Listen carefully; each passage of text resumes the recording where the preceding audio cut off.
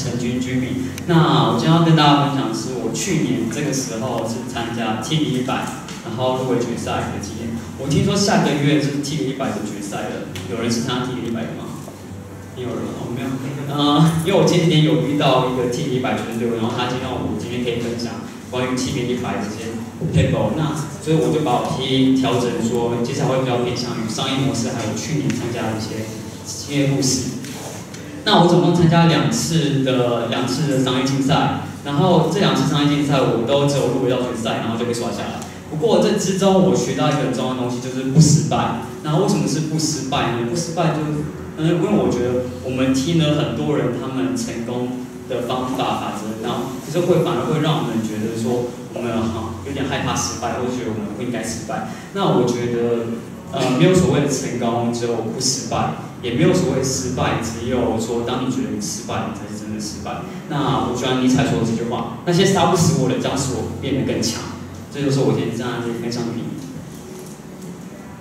那好，先自我介绍一下。嗯，我我叫君，我叫君明，然后我现在二十二岁。正常来说，我现在开始刚毕业，可是我现在快退伍了。对，然后是因为我大三的时候休学。然后那时候休学是因为我大三的时候就背二一了，然后因为毕竟说下，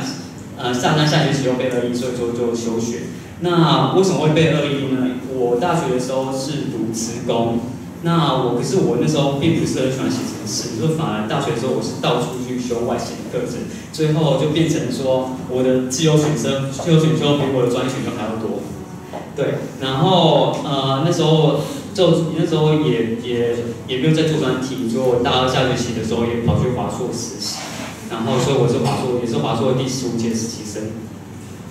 然后这个是我大一的时候，就是看了一本书叫《生命咖啡馆》，然后它里面提到一个问题，我觉得很有意思，就是 What's your purpose of exist？你存在理由是为了什么？哦，我现在还还不知道答案，可是我当下的时候就写了。就就就很有感触，所以就写了很多的目标，大学四年要完成目标，然后现在看起来就已经有完成了十一项，然后就唯一没想到的是，我大三写的时候我要创业，结果是休学。那我创业不，我休学后做的第一件事情就是参加 T T 班，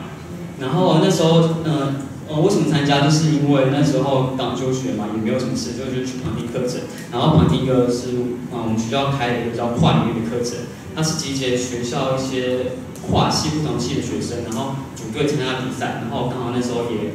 也比较空，所以就是参加了这个比赛。所以我马上就，可是马上就遇到一个问题，就是我觉得队长是决定队伍，然后队伍是决定胜负。可是我们那时候队长选错了，我并不是说是队长的错，而是说我们那时候太小看队长的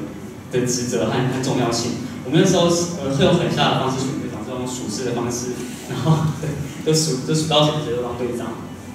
所以到最后到最后的时候，在决赛的前一天，我就那时候就跟队长队长吵架了。原因是因为嗯，我们初赛的时候其实表现还不错，然后 PPT 做得很好。所以说，呃，所以说队长就希望说要拿初赛 PPT 拿去改一改，就去参加决赛。可是我那时候很反对这一点，就常常跟他跟他 argue 这件事情。所以，可是而且那时候是我我要负责上台，而不是队长。所以我那时候我就自己啊自己前一天在决赛的前一天就把 PPT 改成自己要的形式。然后我们那时候只是就，嗯，前天前天就几乎没有睡觉，然后在改。然后，所以说，那当决赛那时候就没有表现很好。然后再来是，我觉得跟队伍一样，就是胜负的，跟比赛的关键就是你的商业模式。是，呃，很多商业竞赛比都是你的商业模式。那我觉得商业模式不外乎就是这这三个目的：你要能够获得利益，然后可以扩大顾客市场，还有降低你的执行风险。然后我们那时候就商业在我们在商业模式也犯了一个很很大的错误，就是我们这个错误是到了比完决赛然后才知道事情。就我们那时候做的是一个社会企业，帮帮一个社会企业做做做一些 proposal。那呃那间社会企业是做无障碍旅游，它有四个很明确的顾客，就是呃身上朋友、老人还有孕妇跟小孩。所以我们就针对他他列出来这四个目标科目去做去做一些分析，然后计划。可是呢，我们那时候比完之后，等结果等评审在讲评的时候，才发现我们的目标族群是完全错误的。因为身障朋友其实他们很少有自主权，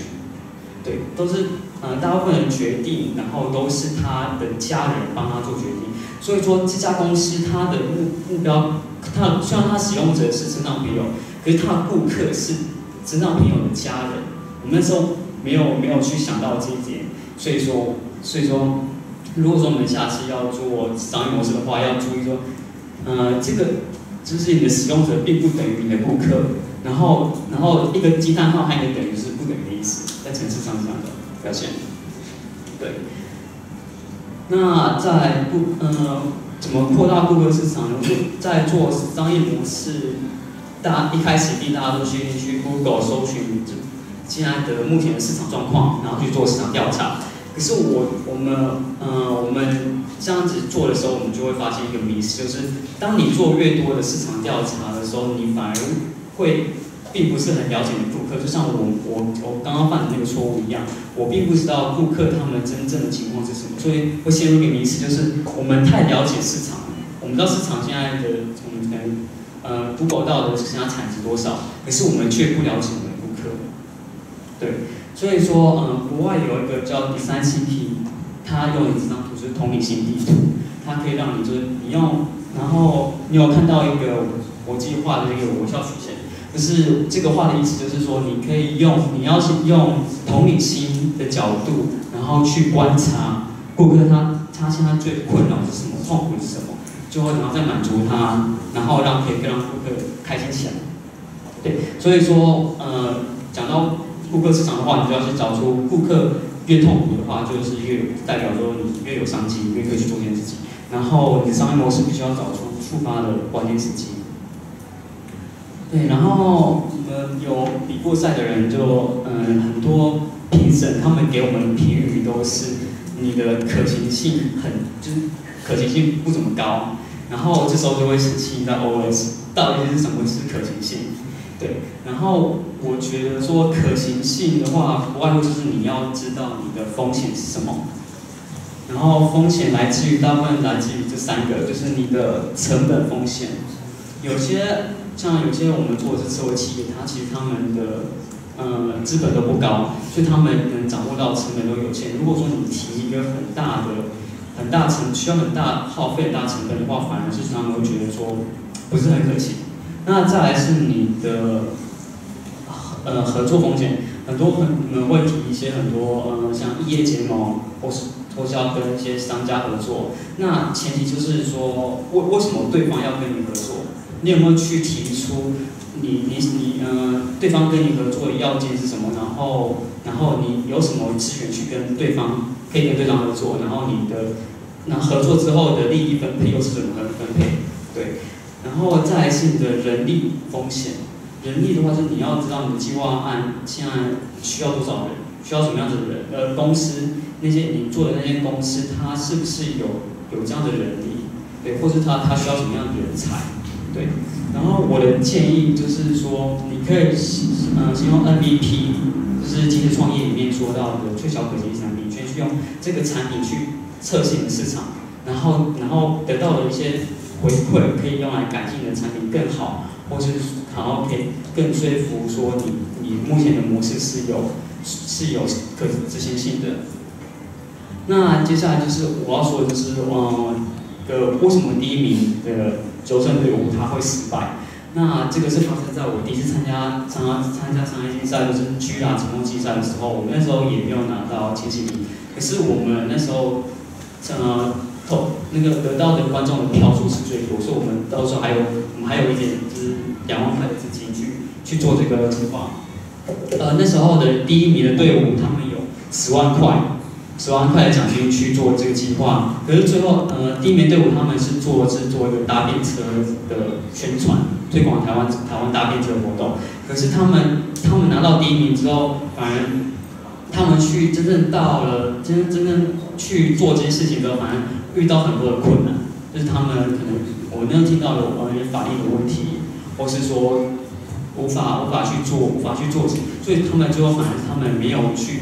做到做到他们他们原本计划的事情，反而是我们没有拿到名次，可是我们最后还是用两万块去做出一些做出做好我们的计划，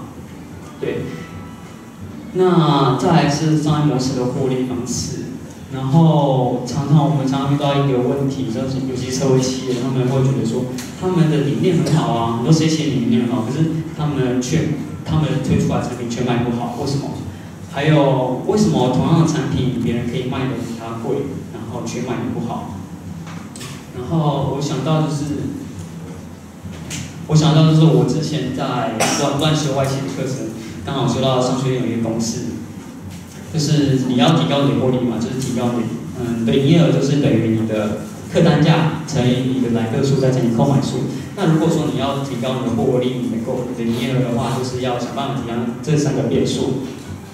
那我觉得可以用价值、通路和口碑去去做调、去提高。那价值部分就是回到刚刚的问题，为什么？同样东西，它可以卖的比贵，因为顾客他在看的时候，他是可以看到你的价值是，你你产品的价值是大于你的你所提供的价格，所以说他会觉得他可以花更多的钱去买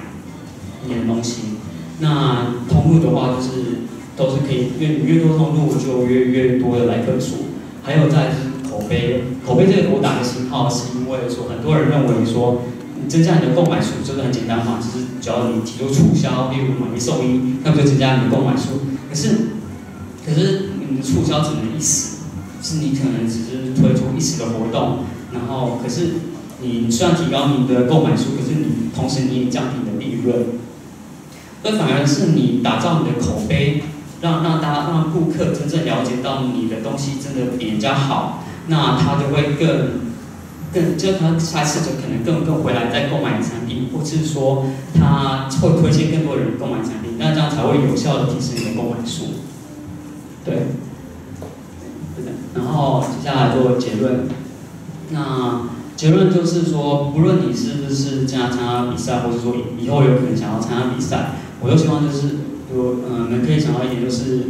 初赛的时候可能看的是你们提出计划的点子有多好，就是你的广度。可是决赛的话，就是看你的商业模式的深度。你你可以从嗯，就看你是不是很了解你顾客，你的商业模式到底可不可行，还有你的获利来源是什么。你可以用这三个问题去重新检视你的商业模式。那呃，最后有句话，我觉得就是想送给大家，就是在卡诺卡诺的教练说的：不要只想着赢，要想不能输。嗯，其实有没有觉得就觉得这句话其实很。很，就是你两个意思是一样的，为什么是要不要只想赢呢？要想不能输。然后我那时候也有一个朋友跟我，然后直到我听了一个创业的前辈，他讲了他对创业的定义，他创创业定义让我讲到说，让我真正了解这句话的意思。他说创业就是从一个无知的乐观到一个有知的悲观。那我们一开始如果刚开始创业的话，我们可能有一个很大的梦想。然后想去做很多事情，然后满腔热血，然后怎么这时候就只想你，就想着要要成长、扩大市场，做很多事情。可是我们当我们真正创业一段时间的时候，我们反而会碰到了很多钉子，然后这时候才逐渐了解说，哎，创业的风险是什么？真正真正掌握到创业的风险，然后这时候就会变成说有质的悲观，开始不是这么。过过度乐观去看待事情，就是早就知道了解风险之后才去做这件事情，所以这时候就会开始是先想不能输，然后这才能够让你在创业这条路走下去。对，所以说你们可以记住这句话，就是不要想赢，要想不能输。对，然后嗯，还有时间，然后这个是这个是我嗯我我打，因为我快退伍嘛。我预计还有九月退伍，然后那时候想要之后想要跟朋友这几个好朋友去做一个创创业计划。那这个创业计划就就是呃想要做一个平台去推广台湾青年旅社 hostel，还有推还有深度旅游。不知道大家有没有住过听过 hostel？有吗有吗？对，是住北高客人，他们一定很喜欢做 hostel。呃，可是 hostel 我觉得很很就是大家在在反正在台湾在国外很好。可是，在台湾的话，就很少，就是只有当背包客人他们才知道 hostel，然后其他都是一些法律的关系，让 hostel 他们在台湾很难推广，所以我之后又想要做，可以帮助他们去做在台湾更加的推广，是我之后预计当兵的时候想要做的，当完兵的时候想要做的事情。谢谢大家，那我先到了。